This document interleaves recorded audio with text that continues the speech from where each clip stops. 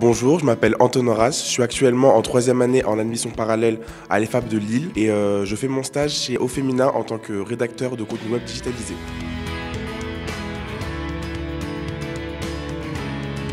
En tant que rédacteur de contenu web, je vais euh, faire euh, l'élaboration de contenu de guide d'achat, donc c'est-à-dire de la sélection des produits jusqu'à l'optimisation euh, en SEO, c'est-à-dire que pour notre article remonte dans les recherches Google.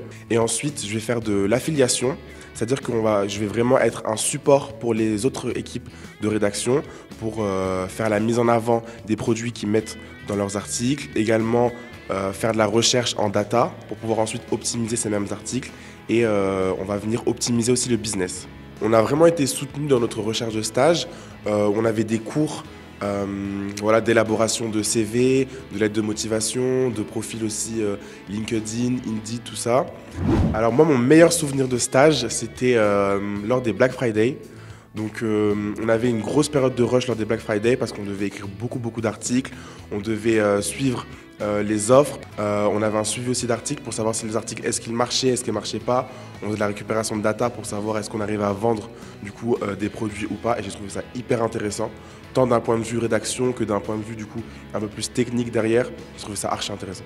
Alors moi je suis, je suis très content de mes, de mes études à l'EFAP car euh, j'ai pu bénéficier déjà, alors que ça fait qu'un mois que je suis ici, euh, d'un réseau important. Je l'ai notamment vu lors de ma recherche de stage avec beaucoup d'offres spécialement pour des élèves de l'EFAP. Ça motive aussi pour euh, la suite, car euh, on a beaucoup d'opportunités pour pouvoir partir à l'étranger, faire aussi des stages à l'étranger et euh, des MBA toujours plus spécialisés qui me semblent très intéressants.